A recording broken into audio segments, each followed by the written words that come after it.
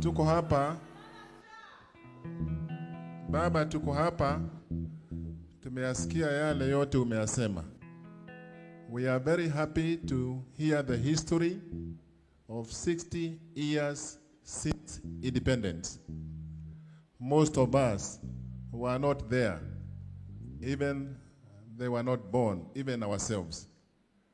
It is good that God has kept you alive to be able to tell us the history of what happened even before independence. This is the right time to listen to Baba. Baba has been in the struggle for many years. He is our elder, he is our people's president, and we must listen to him. Our work right now is to pick from what, he has left, to continue with the determination, with the, our effort ahead, and join hands to make people proud, like the way Baba has made us proud. Uh, kuna shida moja tukiangalia, unajua wengine wanasema upande wa Masai, sisi tuko katika location ambaye sisi watu wengine watatu wakisimama wanaitwa ati wao ni Mungiki.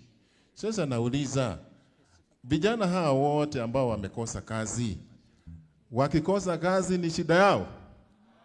Ni shida yenyu? Mkikosa help ni shida yenyu? Sasa kazi yetu ni kuangalia mbele na kusimama imara, kufata amri ya Baba na kusimama kabisa. Wakati Musa alifariki, alikuwa anakuwa na miaka mingi sana, akafariki.